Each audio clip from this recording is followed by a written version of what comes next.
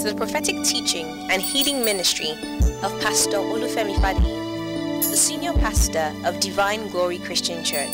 We bring you this faith and power-filled, life-transforming word of God. For the scripture says, the entrance of his word gives light and understanding to the simple. Get ready for the miraculous and be blessed.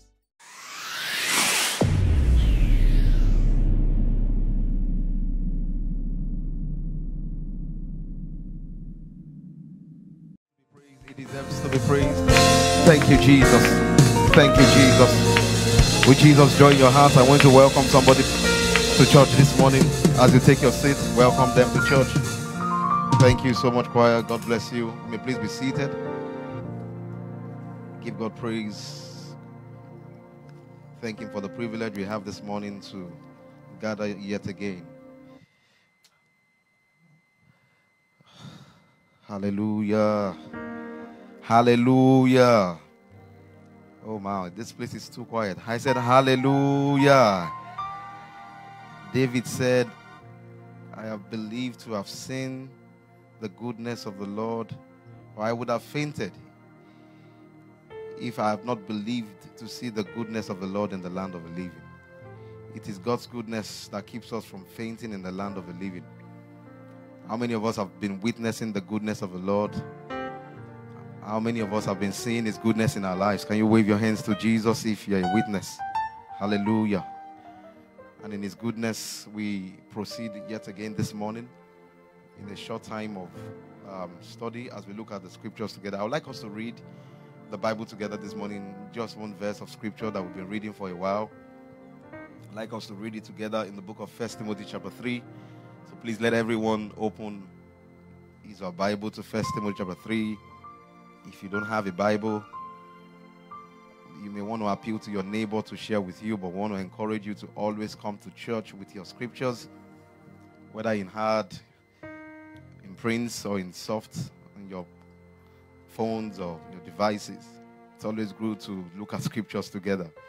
Sometimes the speed with which pastor quotes scriptures, I find it difficult to even match up and catch up, you know. But if you're not careful, we may lose track of actually looking into the perfect law of liberty. Even Jesus read. So there's a place of reading. And I will not assume that because pastor knows it or pastor is well versed in scriptures, he has revelation, I know it. No. I must also do mine. And so I want us to participate this morning. Or is there anyone in, in church who is as fast as pastor? When pastor calls those scriptures, you, you are able to match up with, with the speed. I don't think any one of us actually can match up with that. We thank God for the grace of God upon his servants. Uh, First Timothy chapter 3, we're going to be reading together verse 16. We have been reading it for, I think, since the end of February. We've been looking at the scripture, and I might just wrap up this series today on the mystery of godliness.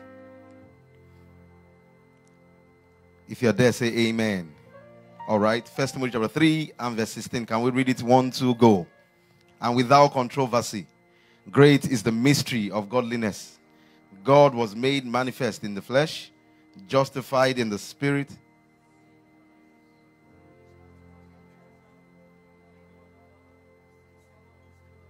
I guess there's only a few people that read that scripture. We're going to take it one more time. That's why I had to pause. I wanted to be sure we're reading. Can we take it one more time? One, two, go.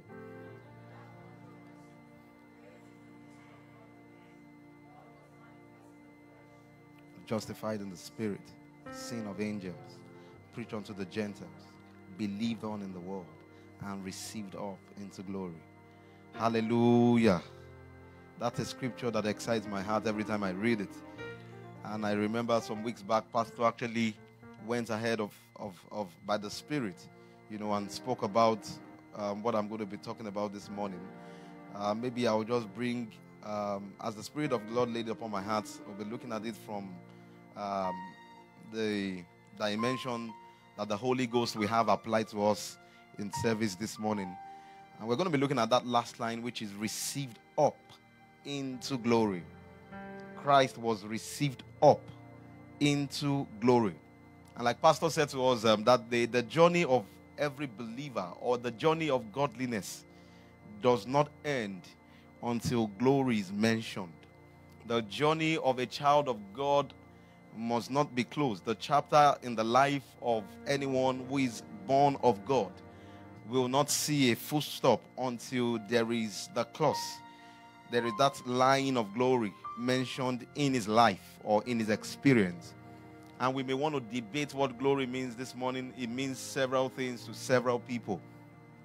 But I'm going to be looking at one aspect of glory this morning. I'm going to look at glory as a destination. I'm going to be looking at glory as a destination. Glory as a destination. And one thing I must say very quickly uh, to us this morning is that Christianity is a journey. As we all know, Christianity is a journey. Godliness with contentment is great gain. The Bible says, it says it has, um, um, um, uh, it's a bodily exercise profit little, but godliness is profitable unto all things, not just for the life that is that now is, but that which is to come. So when you're describing a present life and a life that is to come, you're talking about a journey a translation from one phase to another phase. So, um, if it was not a journey, if it was not uh, uh, a communion, a walk, W A L K, um, the day that we gave our life to Christ, or the day we ex- experienced the new birth, we would have been translated from this terrestrial into the celestial, meaning maybe most of us would have been raptured just like Elijah was raptured, or like um, Enoch walked with God and he was taken over to the other side. And so God will have us um, remain here on earth that we may show forth his glory before we, you know, um, are finally taken up onto the other side.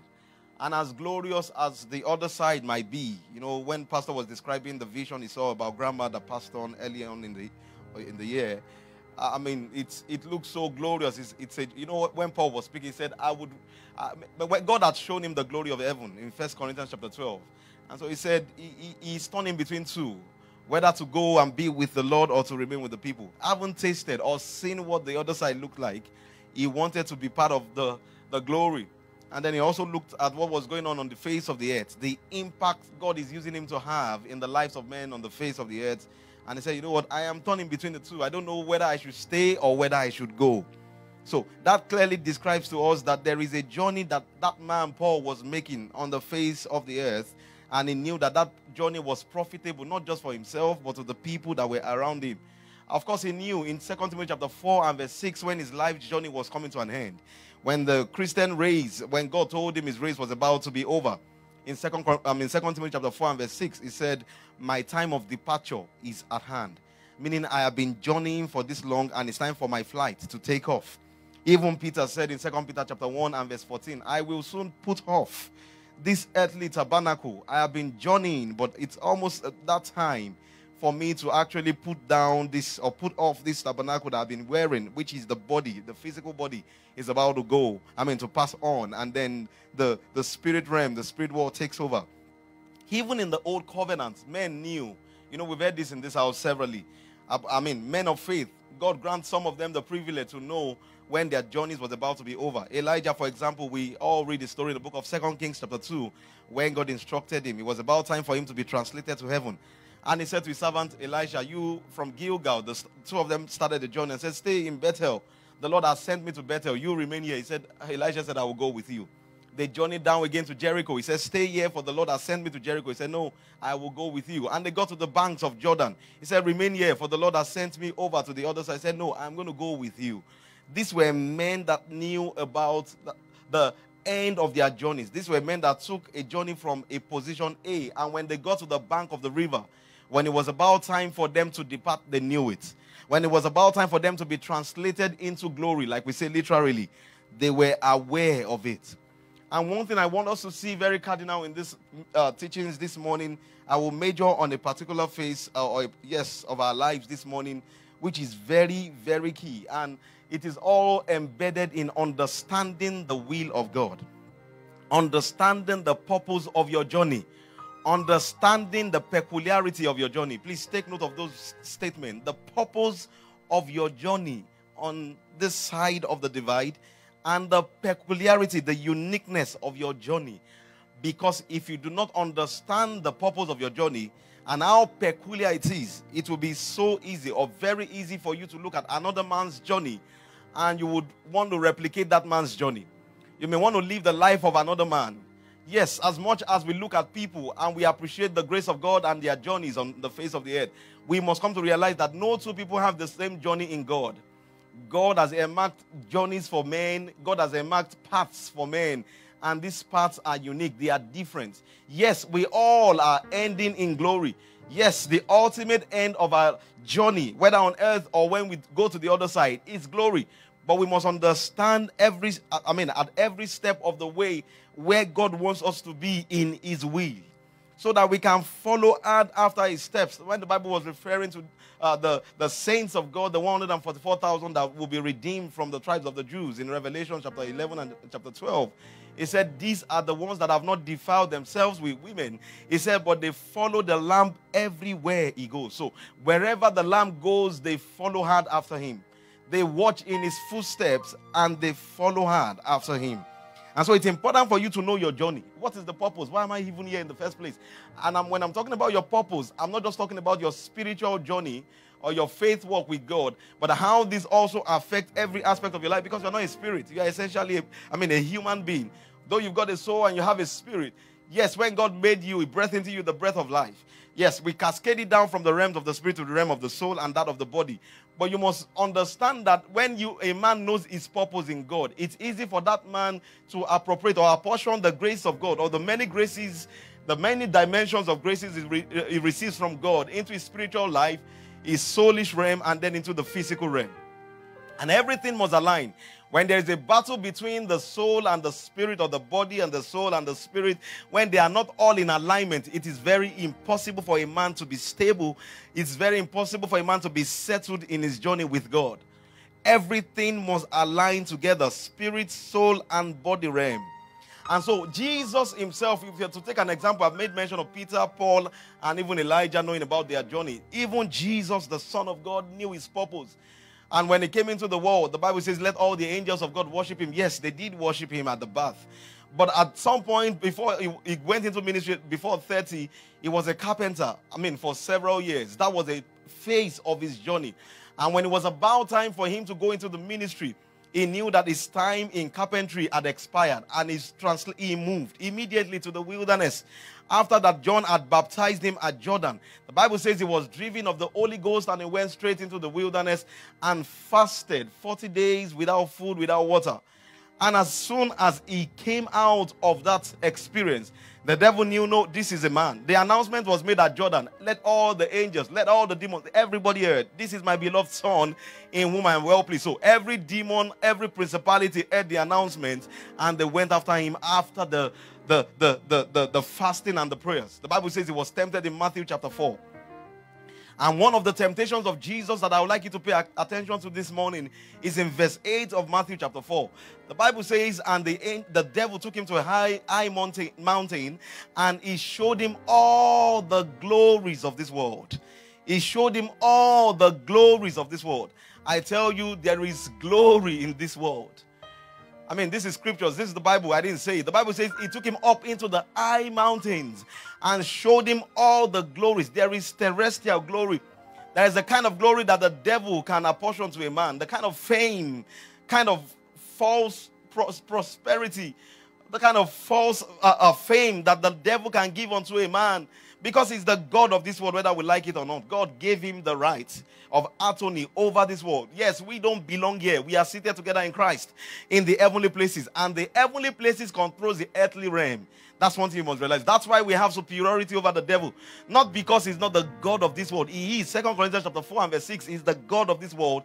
But where we are is far higher, superior than where he is ruling. And so we can control what is happening to us here because of where we belong, where we are seated in the heavenly places with, with Christ Jesus. And he came and said, You know what? I can make you king over the entire earth. I can make you Lord. I can give you everything that you want. Just one condition you just bow down to me.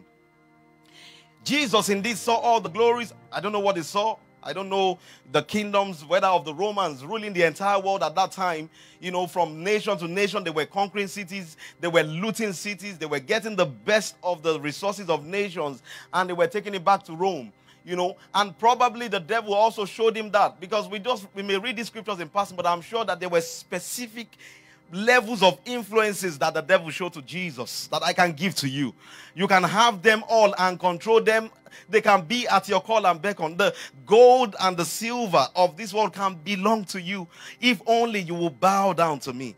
And this was one phase of the life of Jesus where he could have given up, where he could have said, Well, if I take up this and I become the ruler and the king and all that over the entire earth, maybe that's that's sufficient for me. I'm sure he, the, the Bible says the temptation of Jesus, so he was tempted.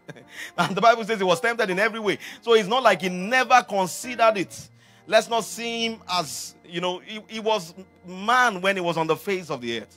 And when the Bible says he was tempted, indeed he was tempted.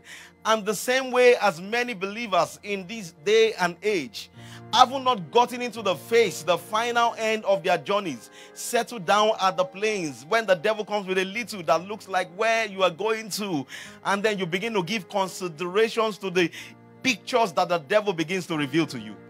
The Bible says he saw all the glories of the world, but Jesus refused to settle down for the less because he knew that the ultimate of where God was taking him to was much more glorious than what the devil was showing unto him.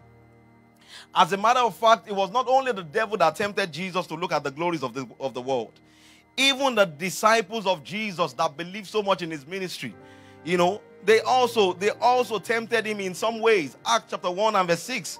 The Bible says the disciples gathered around Jesus after the resurrection. I mean, before even resurrected at all. They, they were they were there was a time when the, uh, the mother of P- James and John brought the two and said, you know what, when you get into your kingdom, I would like James to be on right, John on your left, and all that. But after that, he had resurrected. They now came to him and said, You know what? Death cannot hold you down. It's about time for you to become the king. He said in verse 6 of Acts chapter 1 and verse 6, He said, When will you restore the kingdom to Israel? When will you restore the kingdom unto Israel? Because they still thought that the kingdom of Christ and his reign was on the face of the earth. John 18 and verse 36, Jesus was speaking to Pilate. He said, My kingdom is not of this world. Thank God he knew he said, My kingdom. Because if Jesus did not know the ultimate of the glory that God had called him into, he would have been easily tempted or dissuaded from the ultimate prize and he could have settled for the kingdom on the face of it. Because all they would say to him is, You died, you rose again. If you establish a kingdom today, even if you are killed, we believe you will rise again. Just continue your reign on the face of the, of the, of the earth. And Jesus said to them, No, this is not the final, this is not the glory. This is not the call upon my life. You guys go to Jerusalem and wait upon the promise of God because there is a kingdom that is coming that is higher than any other kingdom. It is the kingdom of the Holy Ghost. And when the Holy Ghost was bringing this path of, you know, uh, uh, clarity of, of this message to me, it sent me back to the story of Abraham in Genesis chapter 15. Can we all open our Bibles there? I said a few of the things I've said this morning as an opening, and I just want to get into the key the, the cross of the matter this morning in Genesis chapter 15 and verse 1 and 2. Yesterday, when we are praying in the morning, the, I, I led prayers in line of these scriptures. And I'm going to be reading from there yet again to bring out some understanding to us. And so that we might know the ultimate of the glory that God is calling us into. Genesis chapter 15 and verse 1. The Bible says, After these things, the word of the Lord came unto Abraham in a vision, saying, Fear not, Abraham. Oh, it was still Abram yet, not even Abraham. He said, I am thy shield and thy exceeding great reward. Abraham, I am your shield and your exceeding great reward. Every time, the first time I heard the scripture read was I was in school. And one of our pastors then, I think I was in 211, when he read that word, it struck me so deeply for weeks I was meditating on it. I am your shield, Abraham, and I am your exceeding great reward. This is God speaking to the end of Abraham. This is God outlining the things he wants to begin to do with the life of Abraham and the ultimate that would happen in the life of Abraham. That Abraham, for you and your descendant and everything that will come after you, I will be your reward. Not only will I defend you to be your shield, but you would inherit me. Your inheritance, Abraham, ultimately is me, not any other thing. And so, because God was speaking from a different realm of understanding, higher realm of understanding to the realm that Abraham understood. If you go to verse 2, you will see a step down, just like step down transformer, you know, in the demands of Abraham back to God in verse 2. And Abraham said, Lord God, you know, I've heard what you said. You are my shield, you are my reward. What will you give me, seeing I go childless? And the steward of my house is this Eliezer of Damascus. Abraham asked God the question that most of us ask God even today, whether directly or indirectly, whether in our thoughts or by our dispositions. Abraham said, Yes, Lord, it sounds so beautifully. You give me a narrative. In fact, I can make a banner out of it and paste it upon my doorpost that God is my shield and God is my reward. He said, But God, you are in heaven. I am on the earth. It is about what I can handle. You are a spirit. Yes, I've heard what you said. He said, But Oga, what will you give me? I want something I can hold on to. I want something that I can embrace. I have been looking for a child for several years. Lord, what do you have in your hands to give to me? Because as he's looking right now, it is this servant, Eliezer of my house, the one of Damascus, that seemed to, you know, all the riches that I've got. It seemed like he's the one that will inherit everything. Lord, yes, thank you for the announcement, but what do you have to give me? This is a man who is still walking in the realm of anxiety, a man that is still walking in the realm of anxiousness and worry, who is not seeing what God is seeing, who is not saying what God is saying who is not appropriating the promise of God in the realms of God. He is not in the realm of glory, he is on the realm terrestrial. And that's why he's asking for food, asking for meat, asking for raiment, asking for what he can see, what he can touch, what he can handle. When God is saying the ultimate prize in me, or the ultimate prize for anyone that walks with me, is me. Please permit my English this morning. The ultimate in God is God. The ultimate you can get and what God wants you to even seek and earn by seeking is Himself, not what He has to offer. The things He has to offer are like baits. Just like when you go to the uh, sea uh, shore or to go to the sea to fish, and the fisherman fishermen will put baits at the mouth of the hook, and then they lower it into the midst of the sea, so that when fishes swim around it, they see the bait and they go for it, and they are caught through that hook.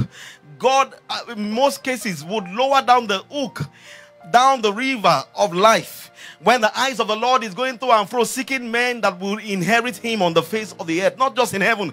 God is looking for men that will inherit him on earth. What he does is he looks at your situation and circumstance. And that's why we are different people. What we seek, at, well, you might be here in church and Lord, my ultimate is a dream job. Another is saying, my ultimate is a son that will make me proud. Oh, it's a dream marriage, whatever it is. And so that's what, just like Abraham said, what do you have to give me? So that constitutes your prayer point. It constitutes your desires always. And so if God will be merciful, most times it would, it would offer that thing as a bait.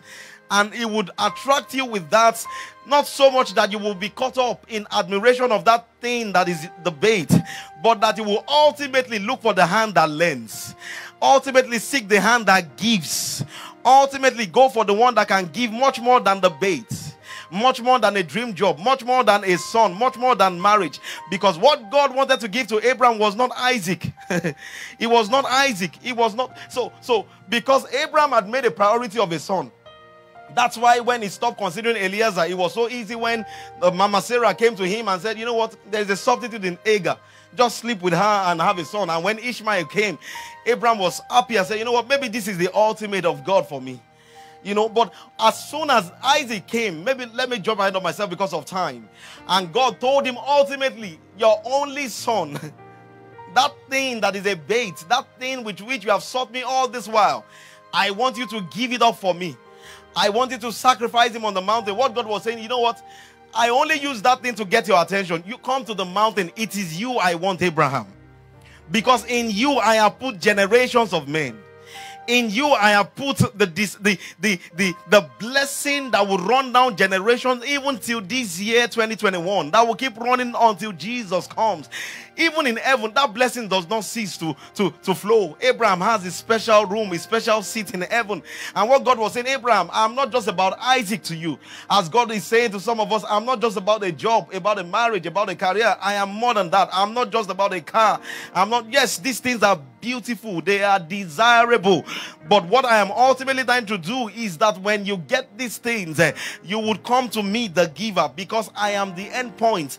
I am that glory. It, it is when you inherit me, it is when you become like me, it is when you become to walk like I would walk, talk like I would talk. It is when you become everything that I want you to be in me. That is when you have actually been received up into glory. A man is not just received up into glory when he goes to heaven being received into glory is being seated with Christ.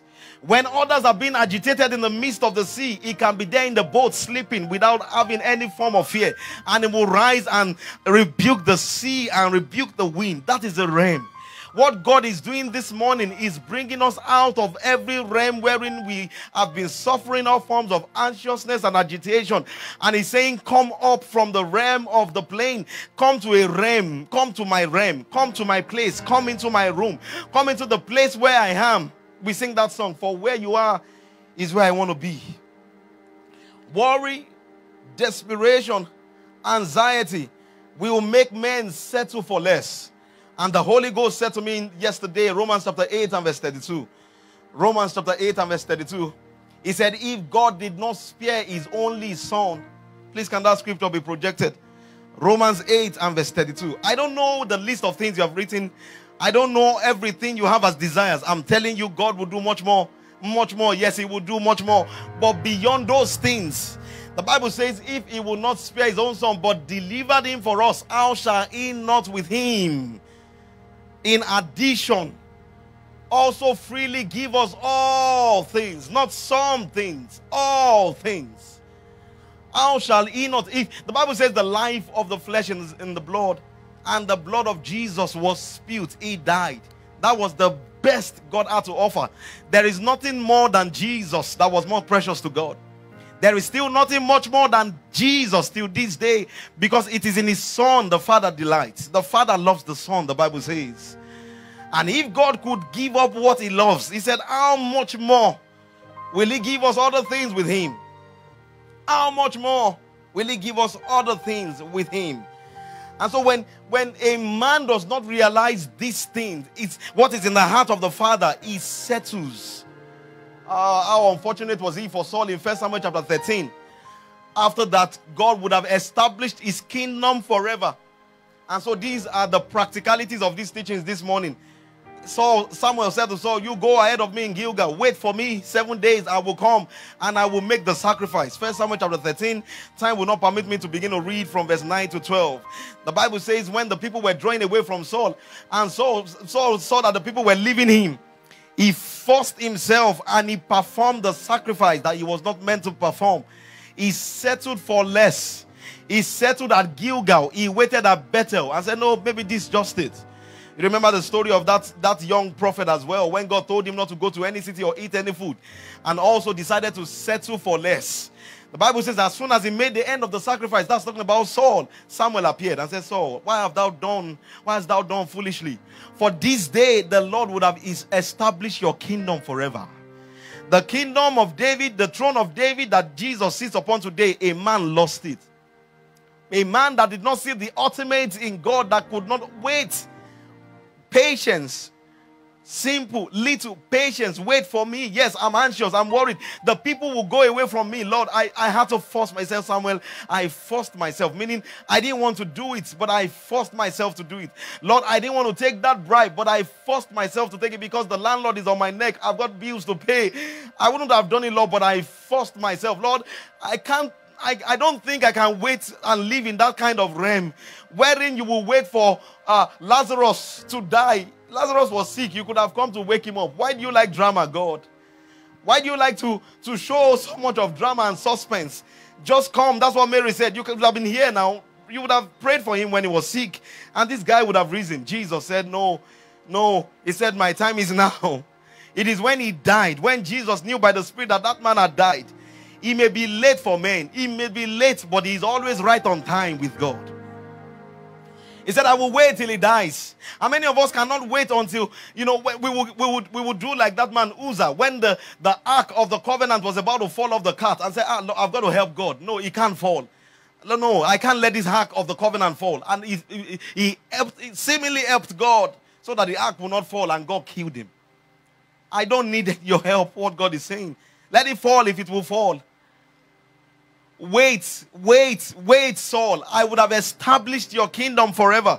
Wait, Lazarus might die. Yes, I will come. I am the resurrection. I will raise him up. Yes, that bill might be so so on your neck, and the pressure may be. I mean, you may you may be you may be you may be about to explode, and God is saying, "Don't worry, you won't explode. You won't die.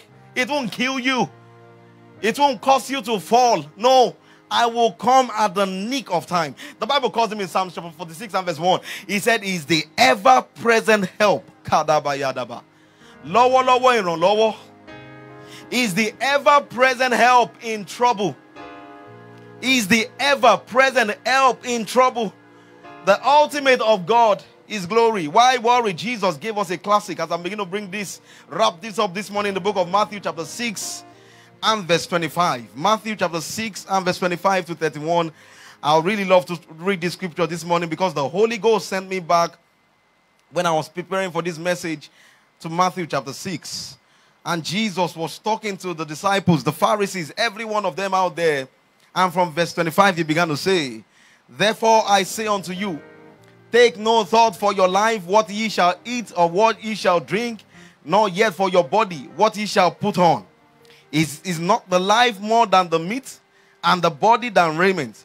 Behold the fowls of the of the air, for they sow not, neither do they reap, nor gather into barns, yet your heavenly Father feedeth them.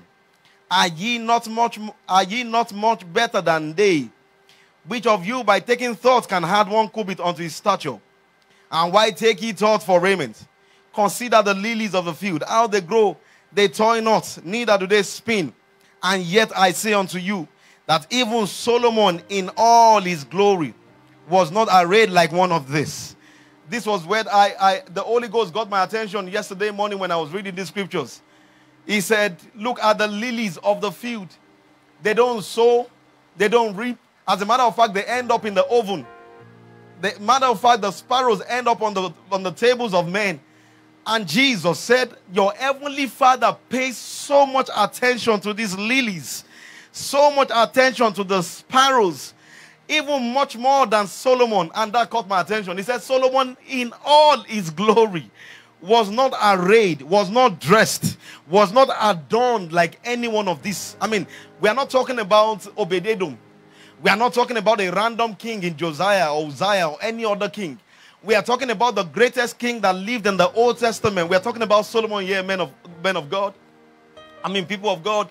We are talking about Solomon that had the that, that made silver. First Kings chapter 10. The Bible says Solomon made silver as dust in Jerusalem. Silver became like dust on the streets of Jerusalem. And God said, even Solomon, in all of his glory, is not dressed like any of these lilies. How beautiful does God, how beautifully does God dress these lilies? How beautifully does he clothe these lilies? We are talking about Solomon. First Kings chapter 10. The Bible says, let me just paint one or two pictures of Solomon to you. Not like you don't know anyway. When the queen of Sheba came in First Kings chapter 10, time will not permit me to read. If you go from verse 1 and in verse 5, the Bible says, when the queen of Sheba saw the temple of God, the palace of Solomon, and he saw the vessels in the palace of Solomon, he saw the servants, is in First Kings chapter 10, and the way they were dressed. When she saw their apparel, not Solomon, but the servants of Solomon, the way they were dressed, the Bible says she lost her breath. He said, I, I, there was no breath that was left in her. They took her breath away, literally. These were servants. He said there was no more spirit in her. When she saw the cupbearers, how Solomon ascended into the house of her, said, You know what? This is too much for me. This was a queen. This is not a pauper. This is a queen that saw another realm of glory. I said, No, we are learners here. with what I've seen in Solomon, we are learning in our own kingdom in Ethiopia. And this was these were servants that she saw.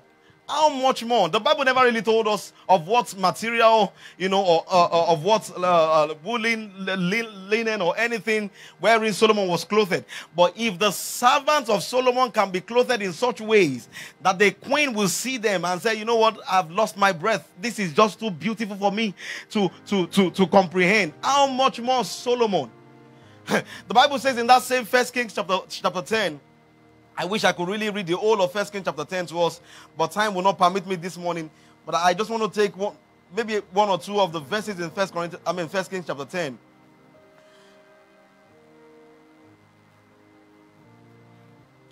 First Kings chapter 10, the Bible says of Solomon that annually the, um, the talent, the amount of gold that came to Solomon annually was 250 tons of gold. 250 tons of gold. And I went back and, and I did my maths. I said, How much is 250 tons of gold in our days? And I converted, you know, uh, the conversion of gold and all that.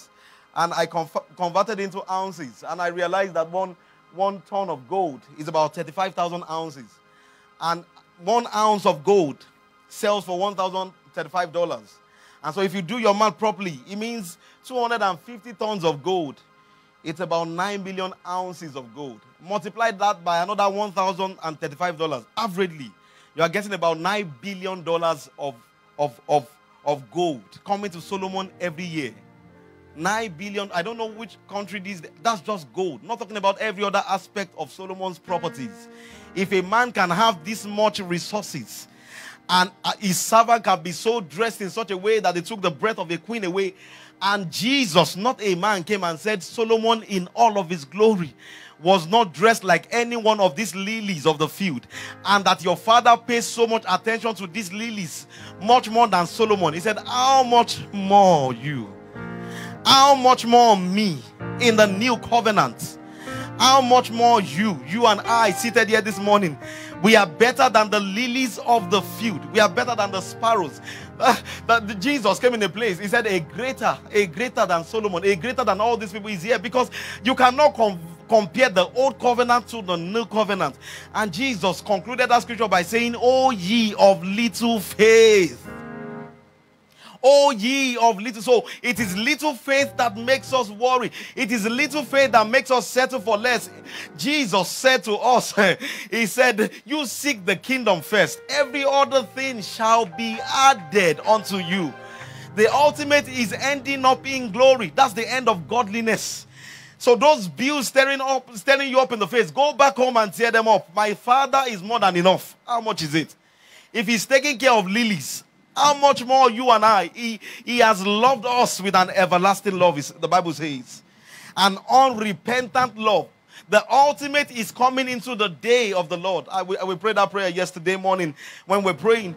The ultimate of godliness is coming into glory, even in the realms of the earth. I'm not saying heaven, that we come into a day of rest. The, the glory that I described as, the, as a destination when I started is a day, is a season, is a place of rest.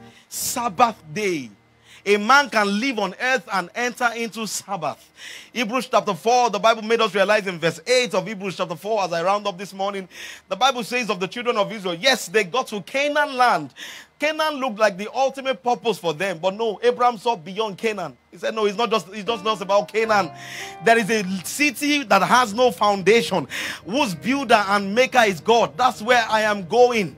There is a city in God. There is a place in, in God, a place of Sabbath. And the Bible says in verse 8 of Hebrews 4, he said, If Joshua had given them rest, if Joshua had, if Canaan was the ultimate, then the Bible, God would not have spoken about another day.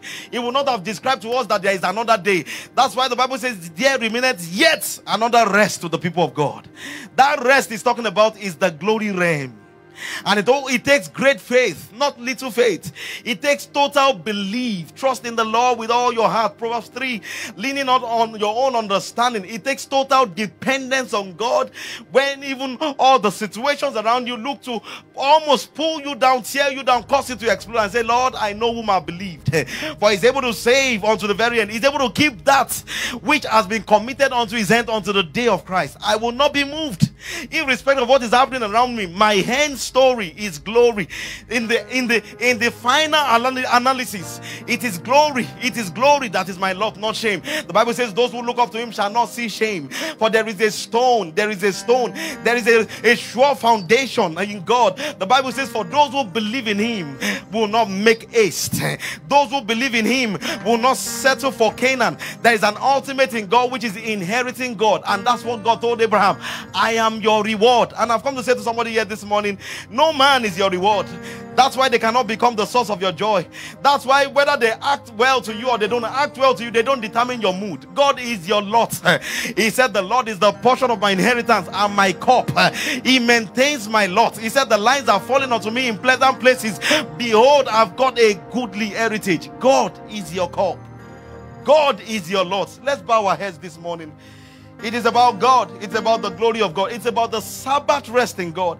It's about holding on to God even in the midst of storm and letting go of little faith and throwing out the anxieties and worries and say, Lord, you are my ultimate. I choose to hold on to you. I choose to trust in you. No matter what is going on around, I choose to trust in you. I choose to hold on to you in the midst of the storm. I choose to hold on to you in the midst of my days. That I may inherit God, that I may walk with the faith of the Son of God. That's what Paul said. Not my faith anymore, but the faith of the Son of God.